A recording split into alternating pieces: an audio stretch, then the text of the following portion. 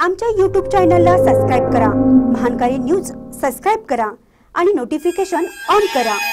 Notification on केल्यामुळे आमचे update आपल्यापर्यंत सतत पोहोचेल. बोरगावात तीन बोरवेलला मंजुरी. नागरिकांना मिळणार मुबलक पाणी. निप्पाणी तालुक्यातील बोरगाव येथे आमदार शशिकला जोल्ले यांच्या प्रयत्नातून मंजूर झालेल्या तीन बोरवेलच्या खुदाईचा प्रारंभ करण्यात आला. आमदार शशिकला जोल्ले यांनी केअर सिटी योजनेतून या तीन बोरवेलना मंजुरी मिळवून दिली आहे. भाजपा नेते सुनील पाटील नांगरे यांच्या हस्ते बोरवेल खुदाईचा शुभारंभ करण्यात आला. येथील हनुमान मंदिर वाशीखान मंदिर तसेच वडगिरी माळ येथे बोरवेल खोदण्यात येणार असून या परिसरातील पिण्याच्या पाण्याची समस्या कायमस्वरूपी मिटणार आहे. यावेळी सुनील पाटील दादासो भादुले बाबासाहेब चौगुले राणी बेवनकट्टी रमेश मालगावे विजय वास्कर जमील अत्तार राजू लटलटे शांतीनाथ पत्रावळे विद्याधर गिरगण्णावर विष्णू तोडकर पिंटू बेवणकट्टी देवगोंडा पाटील राजगोंडा पाटील बाळासाहेब तलवार महाराज खोत यांच्यासह अन्य उपस्थित होते. महानकारी न्यूजसाठी बोरगावहून शिवाजी भोरे.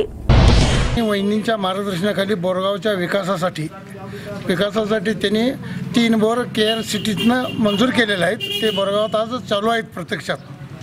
आणि असंच त्यांचं कार्य राहून द्या. आपण त्यांच्या कार्याला सर्वजण शुभ आशीर्वाद देऊन पुढची वाटचाल सगळ्यांनी प्रत्येकजण आपापल्या परीनं करायला जायला काही हरकत नाही. एवढं म्हणून मला दोन शब्द. कुठं कुठं मंदिर झालं? एक हनुमान मंदिर दोन वाशिकान मंदिर आणि एक वडगिरी.